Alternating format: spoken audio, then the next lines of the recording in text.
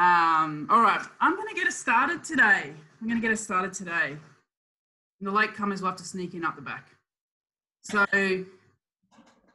my name is Joe Ball, and I'll be your host today for the launch of the Housing for the Aged Action Group report Out of the Closet, Out of Options Older LGBTI People at Risk of Homelessness. I'd like to start today with acknowledgement of country.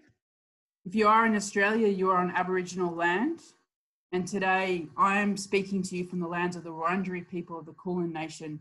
And I would like to pay my respects to their elders, past, present, and emerging. I'd also like to acknowledge all Aboriginal and Torres Strait Islander people that are joining us today and to acknowledge your elders, past, present, and emerging. And to acknowledge that sovereignty was never ceded. There was never a treaty in this country. And therefore, it always was and it always will be Aboriginal land. And when we talk about housing and homelessness on this day, we need to remember that Aboriginal and Torres Strait Islander people have been dispossessed of their homes since invasion in 1788. And today, Aboriginal and Torres Strait Islander people are more likely to sleep rough, sleep rough live in overcrowded housing, or in exploitative rent, rental conditions. Thanks to everyone for coming today. As I said, I'm Joe Ball. I'm the CEO. I'm the very proud CEO of Switchboard Victoria. At Switchboard Victoria, we run a home visiting program for older LGBTI people called Out and About. Um, and you can find out more of that information by going to our website. We also recently launched a new Navigator Connector service at Switchboard for all LGBTIQA plus people of all ages called the Rainbow Door a service that you can use for secondary consult when supporting an LGBTIQA plus person or as an individual to receive support, referral and information. And it includes seeking support around issues of aging. So just some housekeeping points to start off. If you're looking for the toilets, you'll find them in your bathroom. If you were looking for tea and coffee, you'll have to go to your kitchen. And you might have noticed that you're on mute and that's why I can't hear you hysterically laughing at my jokes. So you are muted for the duration of, um, of this session and the event will be recorded. So we encourage you to use the chat function because um, you can't speak to us directly verbally.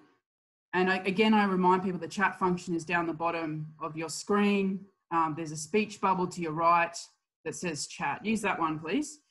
Um, and if you haven't already used the chat function to introduce yourself, please do. And later on today, there'll be a chance to ask questions of the panelists. And that's an opportunity where you'll again use the chat function. So yesterday, thank, oh look, thank you for everyone who's still laughing at my jokes. Appreciate that. I can see that in the chat function. Yesterday, I had the pleasure of reading the report. Um, I got to, you know, I, I, saw it a bit earlier. Um, I got to read the report that we're launching, which is Out of the Closet, out of options older LGBTI people at risk of homelessness. And if there's two things you take out of today, from my perspective, they would be the recommendations of the report, which is that we need more affordable housing options for older LGBTI people, and we need more culturally appropriate community education about housing options to prevent older LGBTI people becoming homeless. I want to acknowledge Housing for the Aged Action Group for producing this report and for their ongoing activism and advocacy around housing equity for LGBTI older people. I also want to acknowledge that this work and this, and this report was done in partnership through a steering committee that Switchboard Victoria is involved in. And the other steering committee members are VALS LGBTI Aging and Aged Care, the Australian Association of Gerontology LGBTI Working Group, Transgender Victoria, and Thorne Harbour Health. At the end of today's session, I will be going through some of the services that the steering committee members provide. And I really encourage you to stick to the very end so you can hear about the services that are available and, and I will go through them. For all of you I know who are very keen to read this report, I'm sure you can imagine that it's not an easy read. This report is as much a reflection of what is happening right now as it is a prediction of the future. That without action, we will see LGBTI, LGBTI older people not only living in unchanged poor circumstances, but that it will get worse.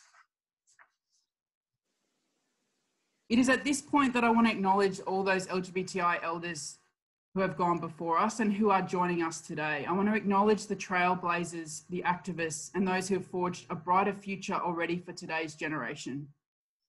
We acknowledge you and we show our respect by fighting for a better now for LGBTI older people. To officially launch the Housing for the Aged Action Group report, Out of the Closet, Out of Options, Older LGBTI People at Risk of Homelessness, I welcome Commissioner Ro Allen to the screen. Ro Allen is an experienced and long-standing advocate for LGBTIQ Victorians and has held leadership positions in the community and government sectors. Ro has been a member of three Victorian Government LGBTI ministerial advisory groups and chaired the Ministerial Advisory Committee on LGBTI Health and Wellbeing between 2007 and 2009. Victoria became the first state in Australia to have a Commissioner for Gender and Sexuality when Ro Allen was appointed to the role in 2015, making Ro the first Commissioner for Gender and Sexuality. After decades of championing the interests of these populations, in 2020, the title was changed to Commissioner for LGBTIQ plus communities to better reflect the diversity of rainbow communities. Thanks, Commissioner, for joining us today. Well, thank you, Joe, and thanks everyone for having me. It's a great pleasure to be invited to launch this report. I'm uh, coming from the land of the Yorta Yorta, and I want to pay my respects to Aboriginal elders, past and present. Always was and always will be Aboriginal land, and uh, never ceded, as you said. No treaty was formed. I'm proud to be part of a Victorian government that is working on treaty with Aboriginal people. But to give a recognition is not only respectful, I think it's basic manners, and I think um, we do that to show our respect and manners. So I want to do that this morning. Uh, and also uh, to the trailblazers, to the older LGBTIQ folks that um, have took me under their wing uh, when I was a baby dyke um, and looked after me. And I think we've got a lot to do and a lot of work. And this report does highlight a lot of things that shows the inequalities for LGBTIQ older members of our community. I also want to acknowledge that this this report was probably written, um, was written, and, and the evidence gathered before COVID, and COVID has only magnified the inequalities for our whole community, but particularly the most marginalised, which is the older population. Now, I'm not going to tell you about the report because that'll steal all of Fiona's thunder because it's the next presentation, and um, if I went through all the recommendations, um, you'd hear it twice. But I have to agree with Joe. It's a very somber read, and it. But what it does do is it gives us the evidence base behind what we've known for a long time. Uh, and just like there's no one way to be LGBTIQ, there's no one way to be homeless. Uh, and many of our community don't even understand that they are in you know high risk category of homeless because they they have a self belief or a self worth um, that this is all they deserve. Uh, for many gay men, they never thought they would have the luxury, I suppose, of getting old, and they live with the survivor guilt amongst that, and they've sold their properties. Uh, they went travelling, and you know they've they've now got themselves in a, a very predictable um, predictable financial situation. Uh, for women who have had lower wages their whole life and insecure work, um, it's not surprising that they've ended up the place they have. But I think the underlying thing that um, we're now getting more evidence, and this report helps us to understand, is that we've always been a high population of um, people that have been discriminated against, and it, with that discrimination comes anxiety, depression, and there are a lot of barriers to stable employment. Uh, as, as we get older, um, there's other work, Dr. Catherine Barrett's work shows us that um, LGBTI uh, older folks are more, more likely to be isolated um, from family and friends. And potentially that isolation gives them more opportunity to be um, victims of elder abuse. And, and that can be another, um, another driver of, of homelessness. Um, we, what's great about this report is it's not um, it's not us doing it ourselves. Uh, you know, as much as I love Dr. Catherine Barrett and as much as I love Ruth McNair and Dr. Cal Andrews who've done um, LGBTI homeless report, uh, they all are members of our community. Credible research, absolutely. But one of the things that I love about this is the collaboration um, with the Housing for Aged Care, Aged Action Group, as, as Joe said, with Val Switchboard, TGV, Thorne Harbour Health, um, and the Australian Association of Gerontology. You know, that that collaboration is not just our own community pushing our own barrow, and it's and it's mainstream uh, advocacy organisations around housing coming together with us, which strengthens our own work. One of the other things that's recently happened in Victoria is the Victorian population health data, and that backs up um, what the findings out of out of the closet, out of options as well. And so, the more pieces of work that start to join the dots, um, hopefully, um, everybody in the sector, and I can see from the chat how diverse you are in relation to the, the, participants today. And many of you are in the housing sector and all across Victoria. I see Wimmera, Gippsland, you're all there, which is great. Uh, and and so what it does is it gives us a bigger, broader picture, uh, and and that evidence is what the research gives us the evidence, and evidence obviously gives us the funding. So some of the things, just very quickly, some of the things in the Victorian population health data which also supports this work, shows that as a as an adult community, um, we are more likely to be renters. Uh, we um, we are though in contact with one or four one to four uh, community members or people within the last 24 hours. So that shows, and we're more likely to be part of community groups. So that also is picked up in your report how how incredibly important it is for people to stay connected to where they live and the people that they um, connect with around around community. So um, that's really important. But we also are higher in the number of households that have uh, up to a maximum of 40,000 uh, total household income. Uh, and we're higher in population than the heterosexual cisgender community in not being able to raise $2,000 in an emergency in, in, in two days. And they're kind of benchmarks that the population health data uh, give us. So we know we're developing that picture of, of course, of being um, at an older age at risk of homelessness. Um, also, from the, the Victorian population health data, 34% of older LGBTIQ people experienced discrimination or were treated unfairly in the last 12 months. So that also gives us an idea that they're probably treated unfairly in the housing market. So as you can see, all of these all of these things build to to what we're now understanding is obviously a higher population of older people within the LGBTIQ uh, folks, whether it's um, perceived or real discrimination that they experience in housing services. Many of the housing services are faith-based organisations, and of course, for many of an older uh, queer community going to seeking help from a church, they've, they've had a historic, real or perceived understanding that that would they would experience another level of discrimination in doing that. So they may not have, got that you know that help earlier on in their journey or they, and, and it's clear that they don't understand what the service pathways are. Except it's interesting in your report lesbians did understand that. Maybe it's because the stereotype they've worked in the community service sector. Uh, know, there's another stereotype that could be another research paper how many lesbians work for community services. But it's really clear that we have to do more. So one of the things that we did do, eh, the Victorian government did do in the last election, is made an election commitment for three million dollars for LGBTI homelessness.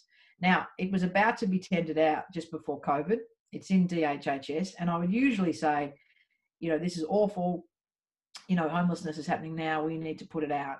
But reports like, here we go, out of the closet, out of options, and the fact that this has come out during the COVID period means that uh, we can actually incorporate the recommendations, the findings, and the weightings around older LGBTIQ folk in the distribution of the $3 million. Uh, I asked someone to tell me when would that be out. Um, we usually say the words it's imminent in government. That's how we go when it's coming out. But to be honest, those guidelines for the $3 million will come out at the end of the year or um, early next year.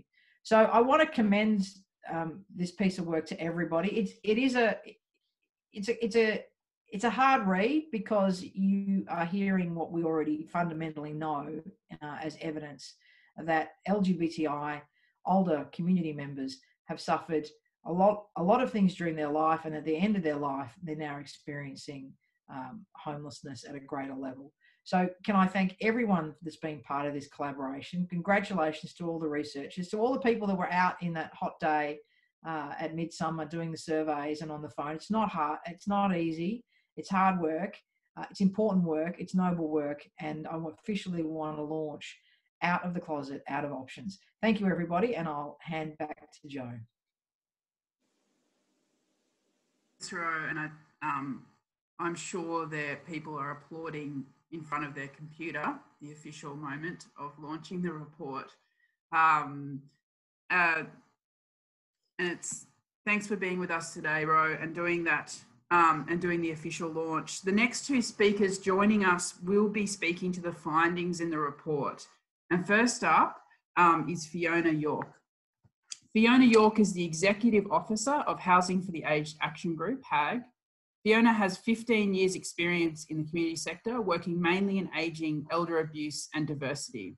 HAAG is the convener of the LGBTI Elders Housing Reference Group and, the, and in the process of earning a Rainbow Tick accreditation. Welcome to the screen, Fiona. Hello, everyone. Um, it's really exciting to be here. Before I start, I'd like to acknowledge that I'm also on Wurundjeri land and that sovereignty was never ceded and always was, always will be Aboriginal land. I'd also like to thank the Commissioner for those words. They were really fantastic. And thanks to our steering committee members um, that Joe mentioned. Some of them are attending today, and it's really great to see them all here. It couldn't have been done without um, that valuable work. Also, a big thanks to Rebecca, um, the project worker on this, who has pulled most of this together on very, very part time hours with um, hardly any funding. So, thanks, Rebecca, for all your work. And a little shout out to Street Smart, who was pretty much the only person that wanted to throw any money at this project. So, um, yeah, thank you. So we're really excited to be here today. Um, for those of you who don't know us, we're a small community organisation. We started in 1983 from a, by a group of older women who were public housing advocates.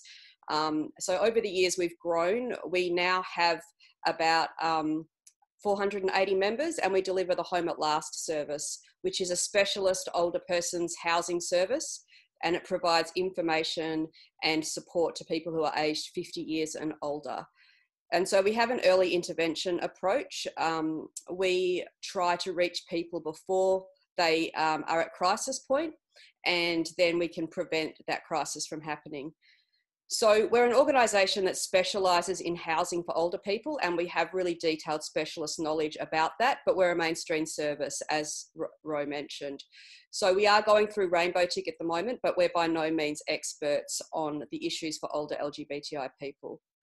So we thought it was really important for us to partner with services and organisations who are embedded in the LGBTI community, particularly those that work with older people so we can find out exactly what's going on for them in terms of their housing circumstances and their knowledge of housing options.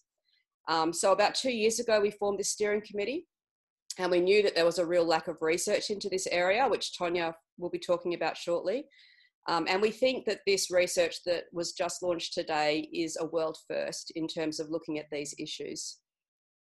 So between 2019 and 2020, we surveyed and interviewed 228 older LGBTI people about their housing circumstances, um, whether they rent or own, can they afford the rent, are they in housing stress, do they know where to go for help, and have they thought about their housing options as they get older. So they came from a variety of housing backgrounds, um, including public and social housing tenants, couch surfers, homeowners, renters, and they were interviewed face to face over the phone and they completed surveys at Midsumma and online. So I'm now going to tell you a little bit about what we found out, and you can read more about this in the reports online. So the first significant finding that we found was that our research showed that LGBTI older people have experienced homelessness and housing stress at higher rates than the general population. So 40% of participants said that they had experienced homelessness and 16% said that they were currently at risk. And these replicate the findings of a survey that was under, undertaken by the Victorian Gay and Lesbian Rights Lobby. But we actually think that these figures are just the tip of the iceberg because there were even higher numbers of older LGBTI people that were living in circumstances that actually placed them at risk um, of homelessness or of housing stress. So some of those risk factors include much lower rates of home ownership. So less than half of our participants indicated they own their own home. And of this group, only 27% owned their home outright. So when you compare that with the general population, age 55 and older, we have 85% owning their own home with 65% owning it outright. So you can see there's a real disparity there. The other risk factor, as Ro mentioned, is living in private rental. So the sad reality is that lots of older tenants who are living in private rental at the moment are at risk of homelessness because of the high rents and the constant threat of eviction and the inability to make modifications to their homes to allow them to age in place. So, of the people that we surveyed, over a third were living in private rental, and of this group, 36% were on a government pension, and a third were unable to afford the rent currently. So, with so much of their income being spent on housing costs, older LGBTI people that live on the pension were in significant poverty with not much money left over after they pay the rent. The other risk factor is living alone. And the reason that um, that places you at risk, if, especially if you're in private rental, is just because it's really hard to pay the rent on one income. So the number of people living alone in our sample was significantly higher than the general population. We had 47% of people aged 55 to 64 in our survey compared to only 6.2% of the general population. So that's seven times higher, which is significant. The other thing that we noticed in the research was that there was a bit of a trend about living in sort of what we would say, I guess, unconventional housing circumstances. So resorting to kind of, undes- well, I guess not necessarily, but potentially undesirable um, measures to avoid a housing crisis. So, for example, people told us about staying in unhappy relationships to have financial security. Um, stay, subletting rooms, staying with friends temporarily, or living in um, inappropriate, unsuitable accommodation because they had no other options. And these measures may work for a little while, but unless people are clear about the expectations going forward as you age, it may relationships may break down, and then you can find yourself in real trouble. So that was another trend that we noticed. The last significant trend as a risk factor that we found was that there were really high numbers of older people living with disabilities and in caring roles. So, for those people that were on the disability support pension, 40% identified as currently at risk of homelessness, and 80% had previously been at risk of homelessness.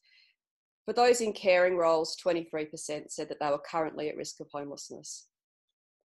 So, I guess the most alarming finding for us in this research was that people don't know that they're at risk um, and they don't know where to go for help if they are themselves in trouble. So, they're two pieces of really important information. An example of this um, is Leanne. So, she's a 65 year old lesbian who currently lives alone in private rental that she can't afford. She's not in paid employment, she has no superannuation, and she relies solely on the disability support pension for income. Despite having several risk factors for being homeless, she doesn't identify herself as at risk. And the most alarming thing is that she had no awareness of support services if she was to become homeless.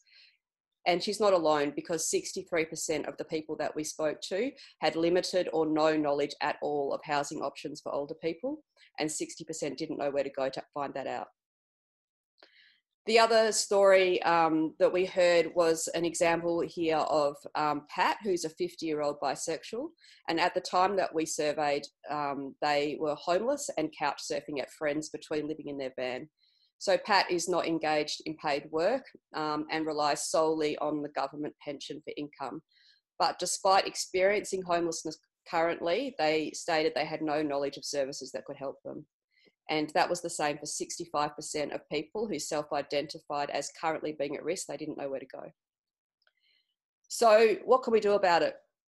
Um, we think we need urgent sector and policy responses around LGBTI people and housing, particularly older people um, who are to reduce the risk. So we need urgent policy reform. Um, the first thing that we're calling for is that we need more housing options. We need more appropriate housing options for older LGBTI people. There's a housing shortage and we need more housing. The second thing is we need to provide better homelessness and housing support services for older LGBTI people. Um, and that involves providing training to the existing housing and homelessness sector so that they do know how to respond if people are fronting up at their services.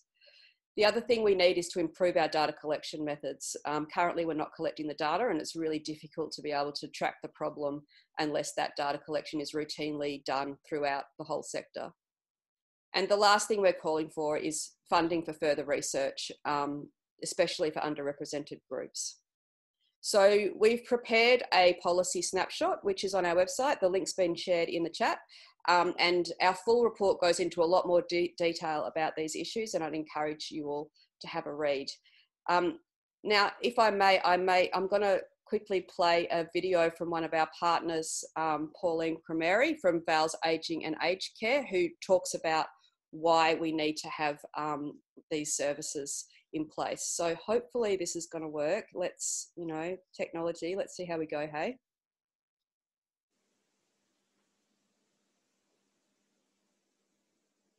Okay, can you guys all see that? Yep, great. Um, and Hear it? Their need for secure um, housing in order to um, be able to age um, safely I think one of the um, areas that we often um, recognise is that people don't plan as they age, and I think this housing project is a really important Oopsie. Step to ensure that older LGBTI people uh, will do become aware of their housing options and the need for secure and safe housing as they age. We're really excited to be part of this project and um, we recognise that there needs to be a lot more information um, for all services who are working with older LGBTI people, but um, importantly for older LGBTI people themselves so that they have a range of information um, that can support them as they age. Great. That's it from me, Joe. I'll hand back over to you. Thanks everyone for listening. Thanks, Fiona. And, um, you know, one of the reasons at Switchboard Victoria that we set up the Rainbow Door was recognising the need for a navigator connector service in order to help people access services through the, you know, the stories that we saw in our Out and About program and our work um, supporting older LGBTI people is we, we, we came across the same experiences in our service provision um, and that is one of the focuses of Rainbow Door is to provide information and referral and support to older people. However, the piece of the puzzle there is um, we need to, you know, we need to build the referral pathways that in order that we can refer people on. So um, I encourage people to use the Rainbow Door as a connected navigator mod, model, but also I really encourage you to take up um, the policy position that, uh, that, that HAAG has put forward today um, and become active around this issue.